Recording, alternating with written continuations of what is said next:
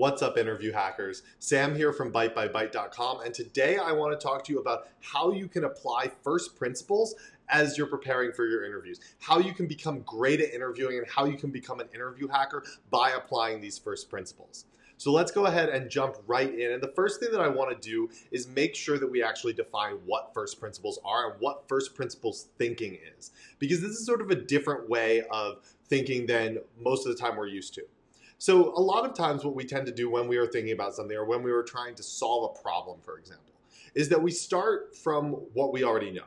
And then we sort of try and work backwards from there. We use a deductive line of reasoning to basically say, okay, let me take the thing that I know and I'm going to break it apart into smaller and smaller pieces. And I'm going to try and understand those pieces. And if I can understand those pieces, then I can combine this to understand the whole thing.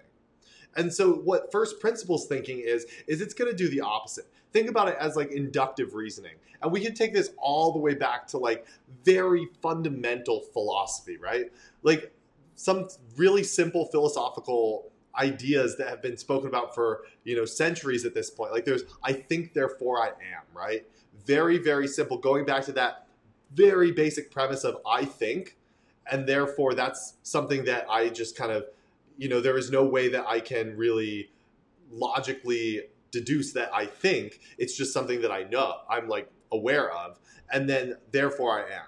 Or I, or another example that I had here was living things breathe, and I breathe, and therefore I'm a living thing right? These are very simple things where what we're doing is we're going back to those core fundamentals and we are using those core fundamentals to understand greater things about the world. And so we're going to start with something very simple and build up from there. It's kind of the idea behind like an inductive proof, right? And so the question though is, how does this actually apply to interviewing, right? Because here I am talking about ancient philosophy, I'm talking about logic, and you're like, well, Sam, get to the point, right? How does this relate to interviewing? And I think this is so important. And I was speaking with some of my students the other day about learning how to use big O notation effectively. And I think this is a great example of how applying first principles can be really, really valuable.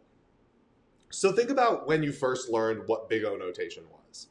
You know, you might have learned about some simple examples of big O notation. You learned like, you know, a for loop is O of n time you learn that just a single print statement or something is O of one time. You learn kind of what that means. You learned a couple slightly more complicated examples. Maybe you learned how a nested for loop is, and you learn these simple things. But as soon as things started to get more complicated, you were like, whoa, this is get re- getting really confusing, right? As soon as things started to get more complicated than just I have two nested for loops that are going from zero to n, where it's like n squared, or I have one that's going from zero to n and one that's going from zero to m, then it's easy because I'm just multiplying those together, but it starts to get more complicated quickly. And you're like, I'm still confused about what exactly this is that I'm doing in the first place, right? You learn the theory of, oh, well, big O notation means this. It means that it's the upper bound and the, you know, you have this constant and blah, blah, blah, and it's based on the growth trajectory. And it just gets really confusing because you don't have the context to apply it. And that's why you jump straight into, you know, learning those basics. And the same is and sort of learning examples. And the same is true with all sorts of coding, right?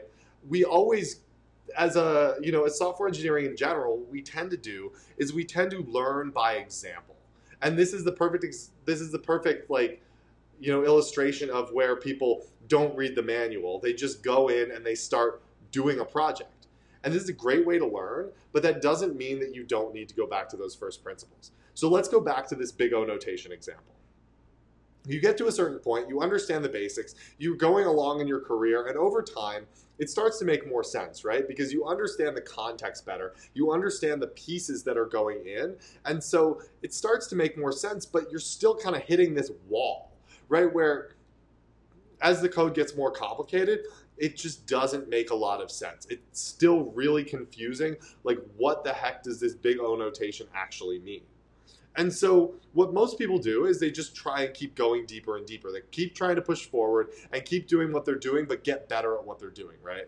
They look at more examples, they look at more, you know, explanations of how this you know how someone computed the big O notation for this versus this, and they keep kind of going deeper down this rabbit hole.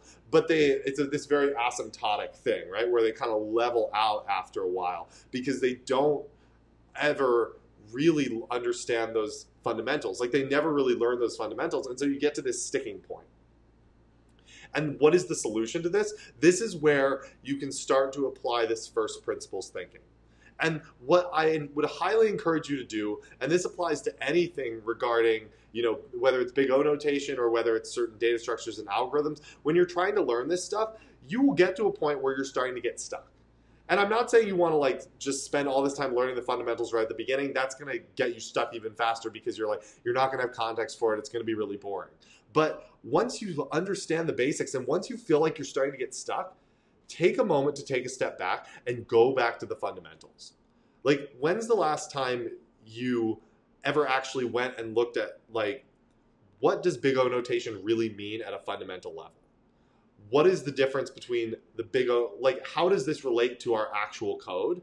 Now that you're probably, if you're watching this, you've probably been doing this for a while. It's something that you understand this, you have much more context around it, how this applies in the real world. So now you can go back and start looking at those very fundamental, sort of the scientific foundation for it that makes up what you've been doing and makes up that practice and by applying the knowledge that you know, now that makes a whole hell of a lot more sense. And so you're going to be able to use that then to accelerate to that next level. And another example that's from a totally non technical example is Tiger Woods. So there was a while back that Tiger Woods changed his golf swing. And you might be like, well, he's one of the best golfers in the world. Why the hell would he change his golf swing? And the simple answer is that he got to the limit of how good he could get with his current swing.